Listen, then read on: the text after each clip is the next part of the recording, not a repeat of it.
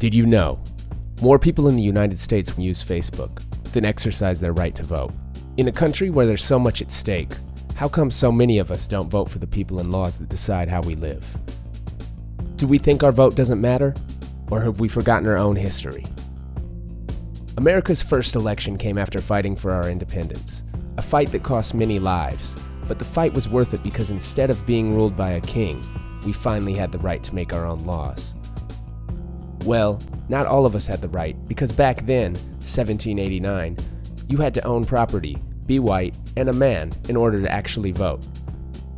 That continued for another 80 years until after the Civil War, when slavery was abolished. All men, regardless of race, were given the right to vote. Well, hold up a minute, all right?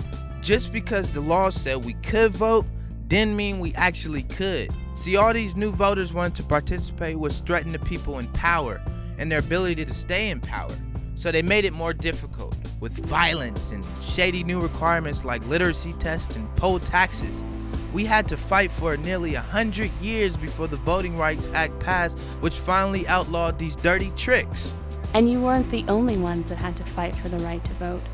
We women also got left out and had to organize and fight state by state. Then we took our fight to Washington and finally got the right to vote across the country. And even once the laws of the land guaranteed every person the right to vote, you still had to be 21 to vote in most states. So when thousands of young Americans were drafted to go to war in Vietnam, young people across the country realized their lives were at stake and they had no say. So in 1971, the 26th Amendment was passed, giving everyone over 18 years old the right to vote. And since then, young people's votes have been crucial in deciding lots of big elections. Like in 2008, when a black candidate had the chance to become president. Young people showed up in record numbers and made history. And as our numbers continue to grow, so does our influence. Together we can decide the way our country acts in the world,